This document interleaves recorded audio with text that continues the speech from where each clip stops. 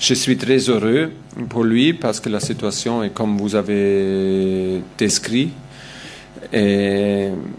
Je peux seulement répéter que jouer comme un numéro 9, c'est pas son poste préféré. À mon avis, c'est pas son meilleur poste. C'est euh, demi-gauche à gauche, euh, à côté pour euh, être un peu plus ouvert qu'un numéro 9. mais aujourd'hui, il a fait très très bien.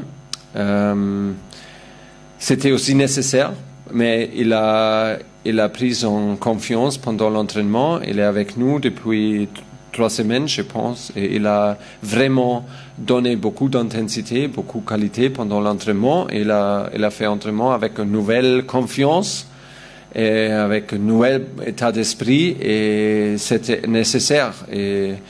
C'était bien le mouvement aujourd'hui avec, avec Kylian et avec lui, c'était très fluide. Le, les cours dans, le, dans la surface étaient plus et plus agressifs.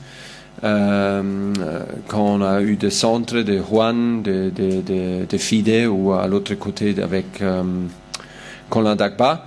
Et c'est nécessaire qu'on a des gars qui, qui souffrent, qu'on a des, des, attaquants qui, qui, qui fait toujours les courses agressives pour ouvrir peut-être un autre espace où, qui sont dangereux.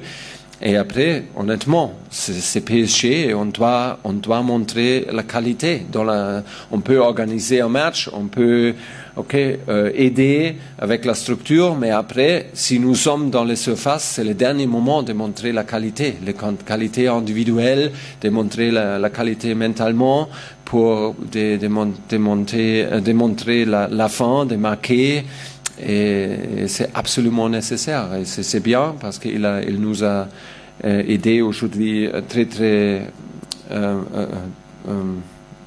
il nous a aidé beaucoup et ça doit continuer.